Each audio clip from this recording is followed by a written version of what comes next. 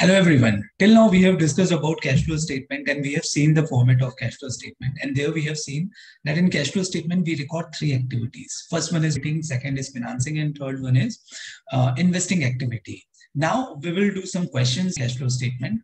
So just wait for a minute.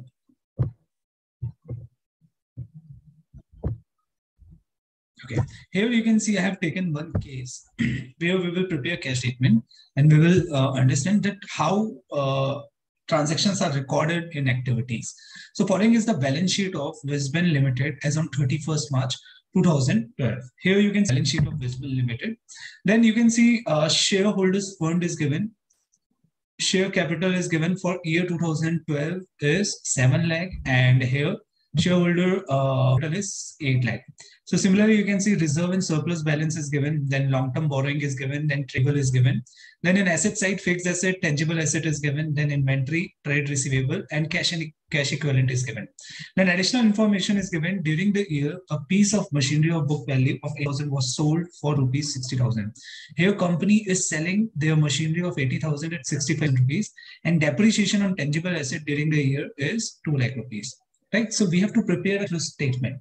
Now we have to see, we have to find out the cash uh, inflow or outflow from the given transaction, right? So how we can find out the cash inflows and outflows from the given transaction?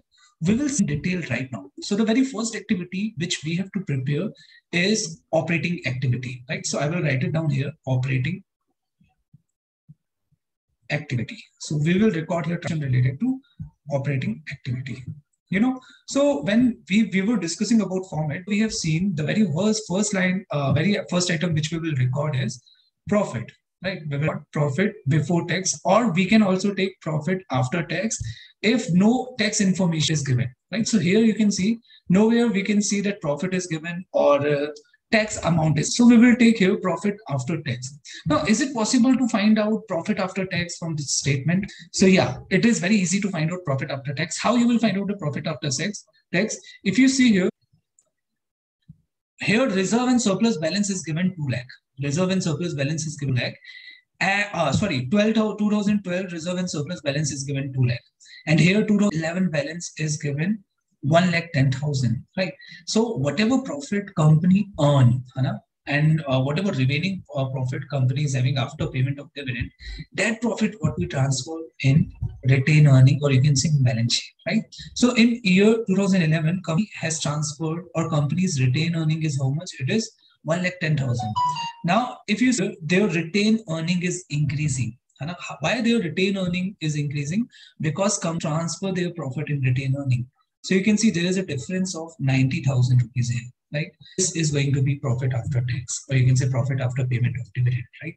So the remaining profit is how much? It is uh, 90,000. Balance uh, amount is 90,000. This is what a profit which is earned here, right? So opening balance of reserve is given 1,000. Now, during the year, company has earned profit of 90,000 rupees. Right? Company has earned profit of 90,000 rupees. That is the reason closing balance of reserve and surplus is how much? 2 lakh. So profit after tax uh, value will be how much? It will be 90000 rupees. Profit after tax value is 90000 rupees. Now what we have to do we have to add or adjust non-cash and uh, non transaction. So is it possible for you to find out non-cash transaction from here? So you can see here what company is doing? Company is charging depreciation in this year. What company has done? Company has charged depreciation of rupees 2 in this year. This is a non-cash transaction. So what we have to do we have to add depreciation amount. We will be adding depreciation amount and company is charging how much depreciation? They are charging two rise depreciation right? So they have transferred in p&l account. They have shown depreciation in p&l account. And how they calculated this profit after adjustment of depreciation. So that is the reason we are adding back is depreciation amount. Um, if you see during the year, piece of machinery of book value 80,000 was sold for rupees 65,000. So it shows that company has sold their machinery at a loss of 15,000 rupees. So we have seen if there is a loss, loss from sale of asset, that we will be adding. Loss from sale of asset, the value will be how much? It will be 80,000 minus 65,000. So here you will be recording the difference of 15,000 in operating activity, right? if you see no other uh, non-cash transaction or such kind of transactions are available, right? So now we have to adjust changes in inventory. We have to adjust changes in inventory. In inventory. Now what we will do here, we will add, I will underline this slide. Here we will add, if there is increase in liability, increase in liability, or decrease in asset. Right? We have already seen it is current liability, right? increase in current liability or decrease in current assets. Right? These transactions we will add. So we will see which current assets are uh, in, uh, decreasing and which current liabilities are increasing. So first we will see current liability. Here you can see, so in year 2011, current liability is 25,000 and in year 2012, current liability is 30,000, right? So when it will increase, we have to compare the two-year balances. So we will start from 2011, right? You you can't start 2012 when you will compare the balance of 2011. to start from 11 and you have to compare the balance of 2012. So you can see there is an increase of 5,000 rupees, right? There is an increase of 5,000 rupees. So I will add payable here. So here you can see trade payable balance is how much, what amount it is increasing. So you can see 30,000 minus 5,000 you will do 25,000. So here it is increasing by 5,000 rupees. Now we have to see in any case if there is any decrease in current asset because there is only one current liability. Now inventories, it is increasing. Hana, there is no decrease. So here we can't adjust. Here you can see trade receivables are decreased. So here we will write trade receivable. Hmm? In year 2011, it is 40,000 and in year 12, it is 32,000. sorry, it is 40,000 and minus 32,000. So here balance is going to be 8,000. Then if you see uh, cash and cash equivalent, we don't have to uh, provide adjustment for cash and cash equivalent. At last, we will see the adjustment of cash and cash equivalent. Now we will reduce if there is decrease in liability and if there is increase in current assets. We have seen the reason also why we add or reduce increase of current asset. So here, current liability, we have already adjusted. There is increase in inventory. There is increase in inventory. So we will reduce this amount. So inventory to reduce. So here, how much we have to reduce? 60,000 to 70,000. So we have to reduce 10,000 rupees. We have to adjust 10,000 here. So we are adjusting 10,000 rupees here. Now after that, if you see, uh, we have already discussed uh, inventory. So this item we have already discussed. These items uh, we have covered. So if I calculate the cash flow from operating activity, cash flow from what result I will get here? Cash flow from operating activity. So here you can see cash flow from operating activity is how much? So 90,000 plus 2 lakh. I have to use calculate. Just.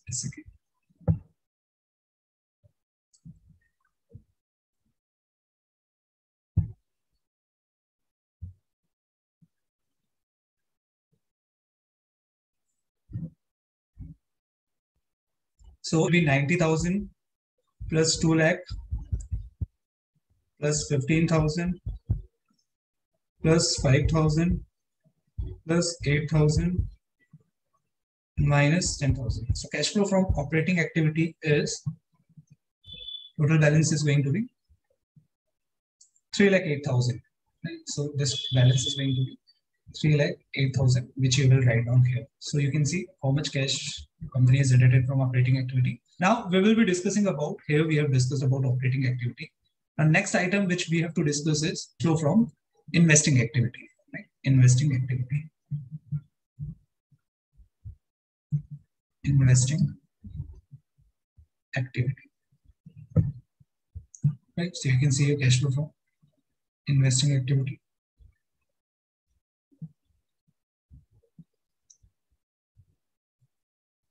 Now, here which transactions we will be recording.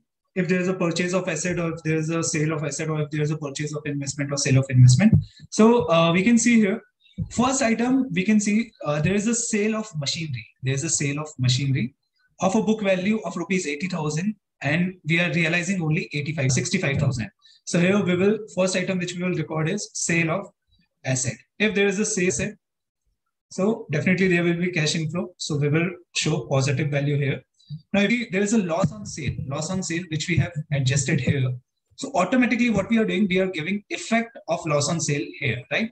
The value of machinery is how much? 80,000, right? And we are using only 65,000. So we are adjusting loss here, right? We have added back here and we are reducing here. Actual value is 80,000 and we are writing the value only 65,000. So it means we are reducing it from investing activity. If you see, uh, we will see tangible assets item now. Now, there is increase in tangible asset, right? It means company is purchasing tangible assets, right? Company is purchasing tangible asset. So purchase, purchasing tangible assets, right? Now, how you will calculate uh, that how much tangible assets company has purchased? So you can say 8 lakh to 11 lakh, right? Previously, the value is 8 lakh. New value is 11 lakh. It means company has purchased some assets. That is the reason the value of asset is increasing. So you might be thinking that there is an increase of 3 lakh. So that will be the purchase value. No. If you see here, opening balance of machinery is given how much? Opening balance of machinery is 8 lakhs. Now, if you see what company has done, we will read this line again. Here, what company is doing, is charging depreciation of 2 lakh rupees on machinery. And currently, a company has charged depreciation of 2 lakh. So the value of machine will get reduced. Right? So, and also one line item is given what comes company has sold asset of rupees 80,000, right? Company has sold asset whose book value is how much? It is 80,000. So here, what I will do, I will less depreciation to find out the proper opening balance. So here I will less, sorry. Here I will less depreciation so depreciation value is how much? 2 lakh. And also what company has done, company has sold 80,000 machinery, right? This 8 lakh. So I will reduce sale of machinery. This value is how much? 80,000. So what is the net balance? What is the net balance of machinery? Net balance of machinery is how much? It is 8 lakh minus 20, uh, 2 lakh, 6 lakh, 6 lakh minus 80,000. So nets of machinery is how much? It is 5 lakh 20,000. Now, if you see here, so what is the actual balance of machinery or you can say opening actual balance? It is 5 lakh 1,000. And at the end of year 2012, the value of machinery is how much? 11 lakh. So if I want to calculate the purchase of machinery, so what I will do, I will calculate the closing balance, closing balance of machinery. That is 11 lakh rupees and I will reduce it from net balance of machinery we have calculated. It is very easy to understand. We have not adjusted depreciation in above value. We have not adjusted sale of machinery. Right now we are adjusting to find out the purchase amount. So difference is going to be purchase amount. 11 lakh minus 5 lakh, 6 lakh, it will be 5 lakh 80,000. So there is a total purchase of how much? We can say there is a net purchase of 5 lakh 80,000 rupees. There is a net purchase of 5 lakh thousand rupees. Now there is no other transaction for investing activity. Right? In asset size only tangible uh, as given. So we don't have to worry about other transaction. There will be no impact of uh, this other transaction in investing. Activity.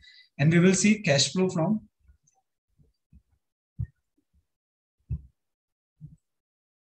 investing activity. So what is the total cash flow? Here we will write it down in negative. Why? Because there is a purchase. If there is a purchase, there will be cash outflow. So 5 lakh 80,000 minus 65,000 and that will be 5 lakh 15,000. 5 lakh 15,000.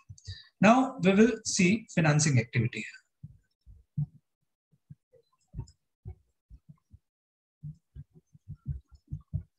Financing activity, right? So if you see financing activity here, So from financing activity, which uh, from where we will get the transaction related to financing activity. So from share capital and from borrowings, we have already discussed. So if you see uh, 2011 balance is 6 lakh rupees, hopefully uh, it is visible to you all. It is 6 lakh, right? And new balance is 7 lakh. It means company has raised money from issue of share capital. So I will write it down here, share capital. And previous balance was how much? 6 lakh. Uh, sorry, yeah, previous balance was 6 lakh. New balance is how much? 7 lakh. So definitely there is an increase of 1 lakh rupees and we will write it down here 1 lakh. Right. After that, if you see there is change in borrowings also. Previous borrowings were lakh and now new borrowing is 3 lakh. So there is increase in borrowing. So it means there will be increase in cash flow financing activity also. So you can write it down here 3 lakh minus lakh and you will get the balance that is 1 lakh rupees. This is balance 1 lakh rupees. Now further if we see, so what cash we are generating, I was, I was thinking that it will get adjusted in this format only, but I have to draw it again. So what is the cash from financing activity? So you will see cash flow from finance activity total is how much? It is 2 lakh. Draw the format again.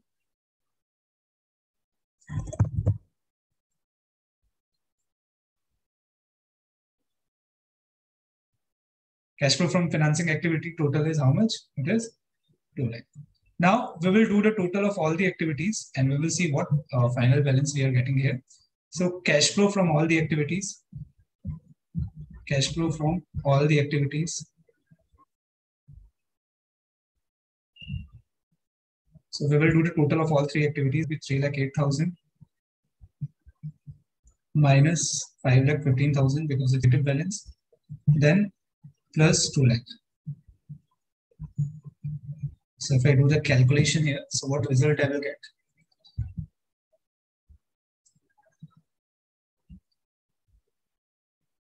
It is minus minus 7,000. Here, balance which we are getting is negative 7,000. It shows that these outflows are more than inflows, right? Because balance is negative here. Balance is negative. Now, last step which we have to perform, I've already told you, we have to take opening balance of cash flows. You have to take opening balance of cash flows here, right? So I will add opening balance of cash flows. So you can see here opening balance of cash flow is how much? You can see uh, cash flow and cash equivalent is given. So opening balance of cash flow is 35,000 here. This 2011 uh, cash flow is going to be the opening balance. This 2011 cash flow of uh, 2011 cash flow is going to be the opening balance, and this is going to be the closing balance, right? So let let assume we don't know the closing balance. Let us assume we don't know the closing balance. So if I add opening balance here, so opening balance is 35,000, right? And we will get the closing balance. So here opening balance is how much? It is 35,000. It is 35,000. So after doing the uh, sum of uh, sum of both the amounts, we will get the closing balance. So here, closing balance going to be 35,000 minus 7,000. So this is the closing balance. So here, closing balance amount is going to be 28,000 rupees. And this should match closing balance of 2012 balance sheet, right? So here you can see here 28,000 is the balance and here also same balance is given uh, in balance sheet that is 28,000. So this is we prepare uh, balance sheet, uh, sorry, cash flow statement. And this is how we can reconcile the flow statement, right? This is how we can reconcile the cash flow statement. So in coming session, we will be taking uh, more questions. Thank you.